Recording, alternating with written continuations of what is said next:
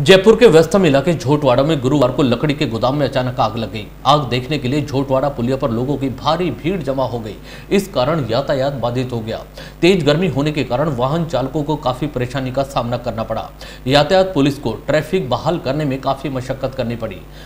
जानकारी में आया कि यह आगजानी झोटवाड़ा इलाके में दीप हॉस्पिटल के पास लकड़ी के गोदाम में हुई आग लगने का कारण शॉर्ट सर्किट बताया गया है। जानकारी के अनुसार लकड़ी के गोदाम में गुरुवार दोपहर अचानक आग लग गई। देखते ही देखते लपटे उठने लगी और आग ने भयानक रूप धारण कर लिया। आग लगने से आसपास के इलाके में अफरा तफरी का माहौल बन गया।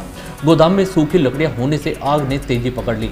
लोग घरों से निकलकर सड़क पर आ गए। इसके अलावा आग को देखने के लिए वाहन चालकों की भी भीड़ लग गई। इस कारण झोटवाड़ा में जाम की स्थिति बन गई। तेज गर्मी होने के कारण दोपहिया सहित अन्य वाहन चालकों को जाम में परेशानी का सामना करना पड़ा। सूचना मिलने पर कई दमकलें मौके पर पहुँची और आग पर काबू पाने का प्रयास किया। अभी आग से हुए नुकसान के बारे में जानकारी नहीं मिल पाई है।